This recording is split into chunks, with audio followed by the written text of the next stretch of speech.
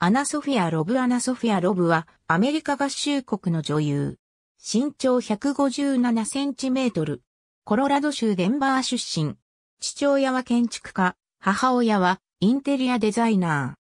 名前は母方のひいばば、アンナ・ソフィーと父方の祖母、アンナ・マリエに由来し、両親は名前を区切らずに、アナソフィアと一つの名前として綴った。イングランド人、スコットランド人、デンマーク人、スウェーデン人、アイルランド人の血を引く家系。幼少よりモデル等として活動し、2003年に短編作品ダディーズデーで映画デビュー。2004年テレビ映画アメリカンガールサマンサの休日主演を務める。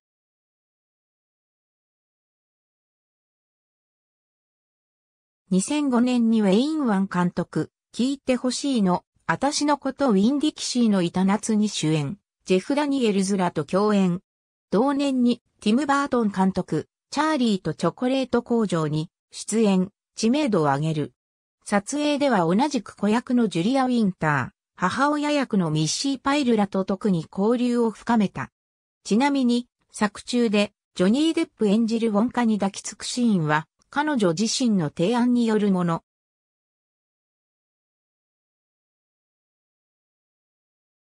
2007年公開の映画、テラビシアにかける橋にジョシュ・ハッチャーソンと共に主演。挿入曲 Keep Your Mind Wide Open を歌っている。11月にはプロモーションで初来日している。2009年10月、オフィシャルウェブサイトにて映画ザ・スペース・ビトウィーンの撮影でメリッサ・レオと共演することが発表された。